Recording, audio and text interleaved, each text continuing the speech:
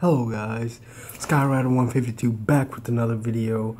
Um, this is gonna be like my fifth or five, fifth Hulk Hogan video today.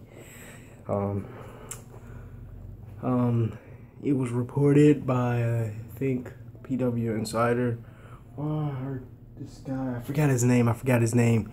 Um, he said it says WWE has officially removed Hulk Hogan from the WWE 2K16 video game, which Stone Cold Steve Austin's gonna be on the face, I mean on the cover of the game, and man, so he they're trying to erase him from everything. Um, the only place you're gonna be able to find him is on the network. Um, he's being taken off the roster. Um, his Hall of Fame status is still in the air and it's just it's wild man. It's wild.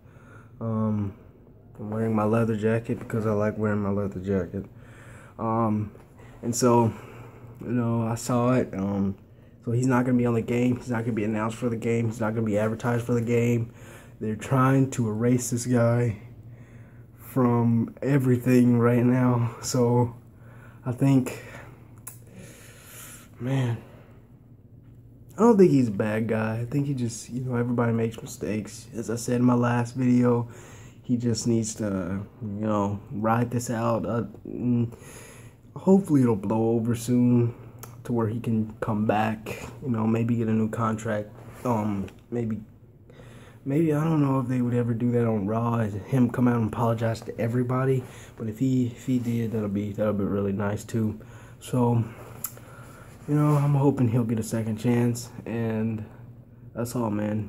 That's all, guys. Skyrider152. Subscribe.